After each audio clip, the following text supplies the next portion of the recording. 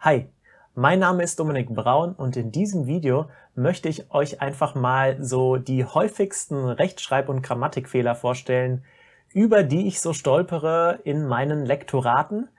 Ähm, ich weiß nicht, ob ihr es wisst, ich mache ja sehr viele Lektorate, gerade für Self-Publisher auch, also sehr viele E-Books kommen so bei mir vorbei und werden korrigiert, Korrektorate und Le Lektorate sind das, die ich anbiete. Und ich habe mir gedacht, dass ich da einfach mal so eine Videoserie draus mache, weil es im Grunde genommen doch immer wieder dieselben Fehler sind. Ich habe das inhaltlich logischerweise so ein bisschen abgeändert, beziehungsweise selbst diese Sätze entworfen, aber einfach um dem Ganzen so ein bisschen das Ganze nachzuempfinden. So, die Frage stellt sich jetzt natürlich als allererstes, warum ist das eigentlich so wichtig, so eine gute Rechtschreibung oder Grammatik zu beherrschen? Schauen wir uns doch einfach mal folgenden Satz an zwei Varianten haben wir da stehen, einmal mit, einmal ohne Komma. Komm, wir essen, Mama. Also ihr merkt schon, an der unterschiedlichen Betonung, Kommas können sozusagen über Leben und Tod entscheiden. Oder anders ausgedrückt, das Weglassen von Kommas kann dazu führen, dass man euch kannibalische Absichten unterstellen könnte. Ja, also ihr habt gesehen, das war jetzt natürlich ein bisschen scherzhaft, aber einfach nur dadurch, ob man Kommas setzt oder nicht, kann ein Satz einerseits schon mal einen komplett anderen Ausdruck bekommen, aber es geht auch einfach drum, dass es an manchen Stellen einfach richtig oder einfach falsch ist, ob man Kommas setzt oder nicht setzt. Ja, ich würde sagen, ich fange einfach mal an mit dem ersten ernst gemeinten Beispiel und die ganzen Beispiele, die jetzt folgen, das ist so mehr oder weniger einfach so ein Querschnitt. Also ich habe das Problem, ich persönlich bin einfach so ein Rechtschreib- und Grammatik-Klugscheißer. Ich bin damit mehr oder weniger geboren worden. Und ähm, deshalb, also selbst wenn ich irgendwie Webseiten besuche oder sowas, mir fallen sofort Rechtschreibfehler auf. Aber kommen wir zum Punkt, fangen wir einfach an mit dem ersten Beispiel. Beim Schreiben von Texten hat er längst keine Probleme mehr. So, ich werde das jetzt folgendermaßen machen. Ich werde euch ein paar Sekunden die Möglichkeit geben, euch den Satz anzuschauen, ob ihr den Fehler findet und dann werde ich ähm, sagen, was falsch ist, werde es korrigieren und auch erklären, warum.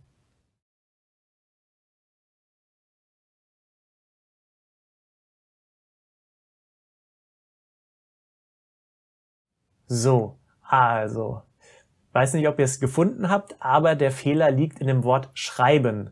Schreiben wird nämlich in diesem Fall groß geschrieben und das liegt daran, dass das Wort beim davor steht.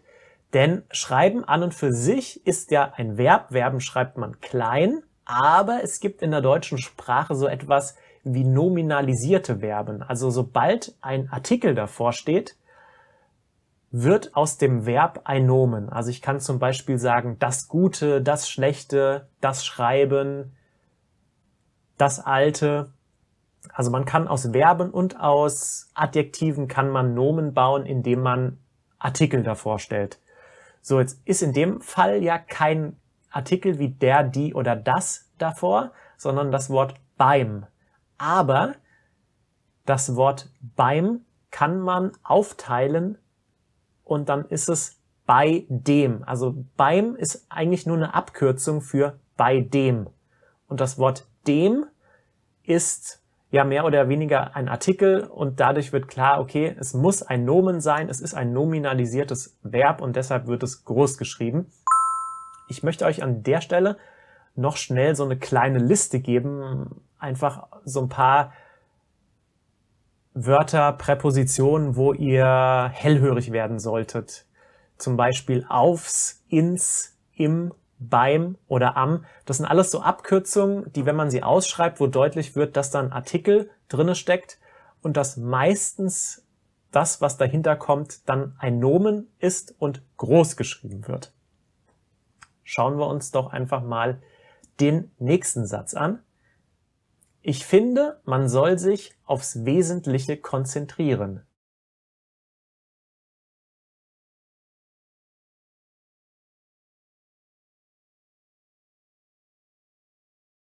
Ja, ihr habt jetzt wahrscheinlich vergeblich gesucht, da ist kein Fehler drin, denn an dieser Stelle wurde das Ganze richtig gemacht, was ich im vorherigen Beispiel behandelt habe, nämlich dass die Groß- und Kleinschreibung von nominalisierten Verben, beziehungsweise in dem Fall ist es ein Adjektiv, das nominalisiert wurde, nämlich wesentliche. Aufs ist die Abkürzung für auf das. Das ist ein Artikel, also schreibt man wesentliche groß. Schauen wir uns das nächste Beispiel an. Die hellen Würfel gefallen mir am besten.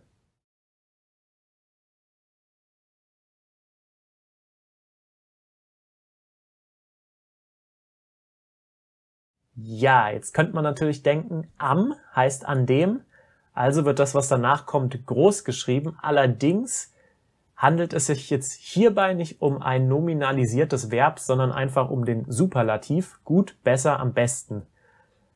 Zum anderes Beispiel wäre schnell, schneller, am schnellsten. Also Superlative werden immer mit am gebildet und Superlative werden klein geschrieben. Also in dem Fall war der Fehler bei dem Wort besten wird nicht groß geschrieben, sondern klein geschrieben. Ja, weil das Ganze so spannend und so verzwickt teilweise sein kann, schauen wir uns noch ein Beispiel zu diesem Themenfeld an. Ich besitze zwei Wintermützen, von denen ich die grüne mehr mag als die blaue. Schaut euch den Satz an, wo könnten da Fehler drinne sein oder ist er vielleicht auch korrekt? Ich gebe euch ein paar Sekunden Zeit.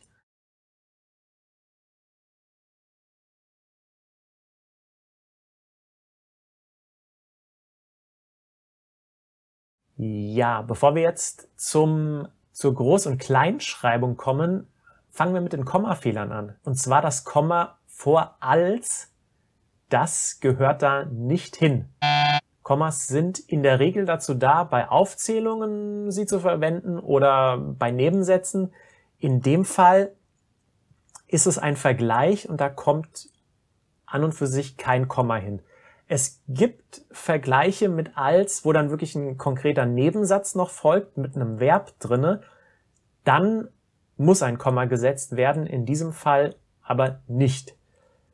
So, und der zweite Fehler ist jetzt die Groß- und Kleinschreibung mit den Adjektiven, nämlich grüne und blaue. Da steht zwar ein Artikel davor, nämlich die grüne und die blaue, Jetzt beziehen sich aber diese Adjektive auf ein konkretes Wort, was schon vorher im Satz genannt wurde, nämlich Wintermützen.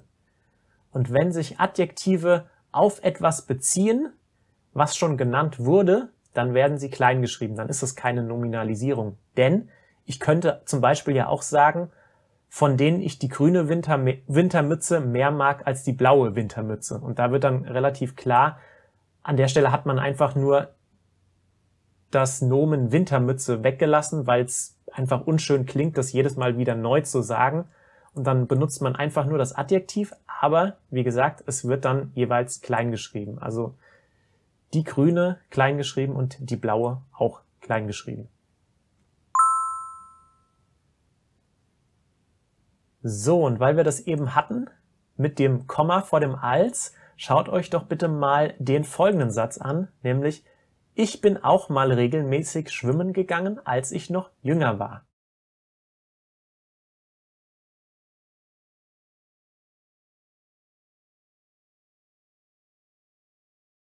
So, der Unterschied ist jetzt nämlich, dass es sich hier hinten um einen Nebensatz handelt, denn dieser enthält ganz klar Subjekt und Prädikat, nämlich ich ist das Subjekt und war ist das Prädikat, also das Verb. Dadurch wird klar, es ist ein Nebensatz und dadurch muss vor dem als ein Komma gesetzt werden.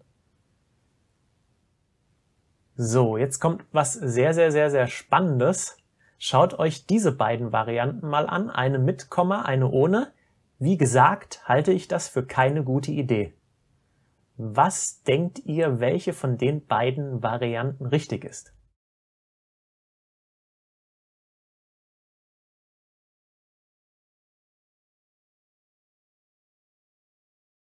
Ja, wahrscheinlich habt ihr euch jetzt den Kopf zerbrochen, aber die Antwort ist, dass beides möglich ist.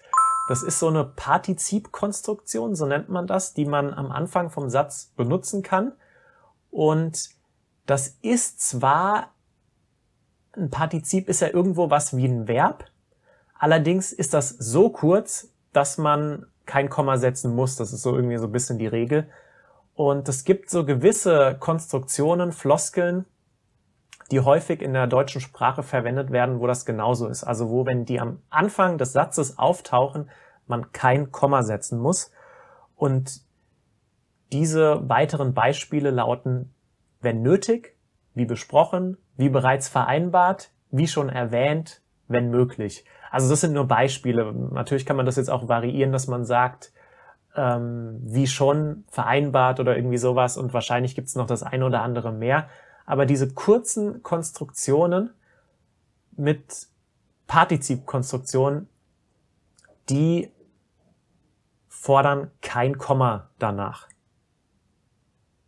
So, und nun kommen wir zum letzten Beispielsatz, den wir uns für dieses Video anschauen, nämlich dieser Block widmet sich der Frage, wie die Mobilität der Zukunft aussieht.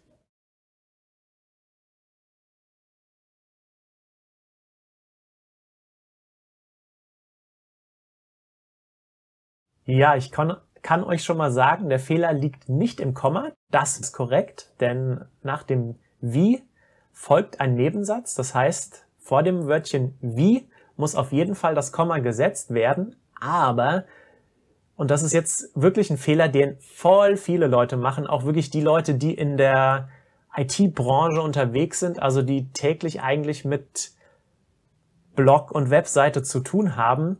Es heißt nämlich korrekterweise nicht der Blog, sondern das Blog. Woher kommt das?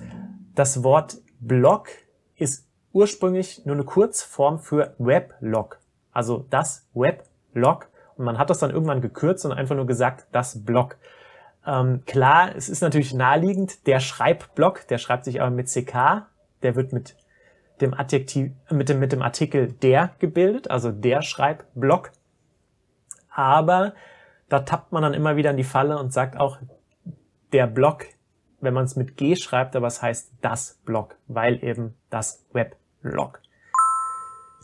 Genau, so viel dazu. Das war jetzt wahrscheinlich für den Anfang schon, Anfang schon sehr viel harter Tobak. Ja, mir geht's einfach darum, so ein bisschen, dass ihr, wenn ihr Texte für eure Webseite schreibt, dass ihr einfach so ein bisschen so ein Know-how habt, dass ihr einfach, dass ihr sie frei von Fehlern irgendwie schreibt, soweit es geht, weil man im Web doch sehr viel auf Fehler stößt und das natürlich dann irgendwie auch so kein professionelles Bild von einem selbst abgibt. Wenn euch dieses Video gefallen hat, dann könnt ihr ihm gerne einen Daumen nach oben geben, teilen oder was auch immer.